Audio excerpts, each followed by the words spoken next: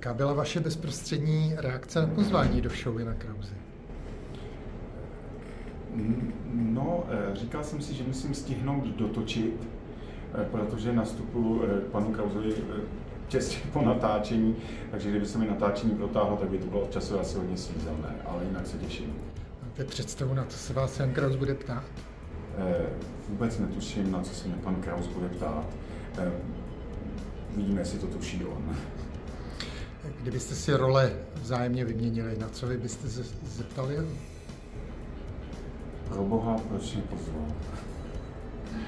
Eh, protože samozřejmě bude to plný dřina ze mě něco vytáhnout a aby jsme nenudili. Eh, poslední otázka z mé strany. Jak se cítíte teď tady před natáčením? Máte trému? No, musím přiznat, eh, že ano, to není to úplně role, ve které já bych byl profík, takže spolíhám na pana Krause a spolíhám na to, že už jsem tak unavený a otupělý, že se mě tam nějak poválí a udělá to legrační a zábavný pro diváky. Tak já vám děkuju, ať se večer vydaří. Díky moc. Děkuju.